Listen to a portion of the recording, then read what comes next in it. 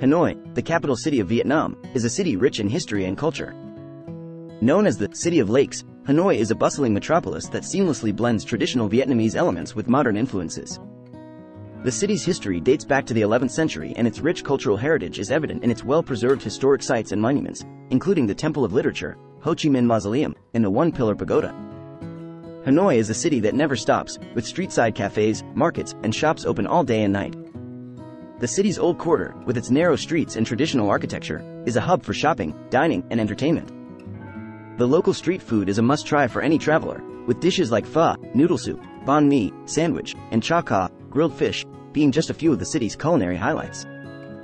In addition to its rich cultural heritage, Hanoi is also a hub for education and commerce. The city is home to several top-ranked universities and has a growing startup scene, with many young entrepreneurs setting up businesses in technology, tourism, and other industries. Visitors to Hanoi can take a stroll along the shores of Hoan Kiem Lake, visit the bustling markets and street-side vendors, and enjoy the city's vibrant nightlife.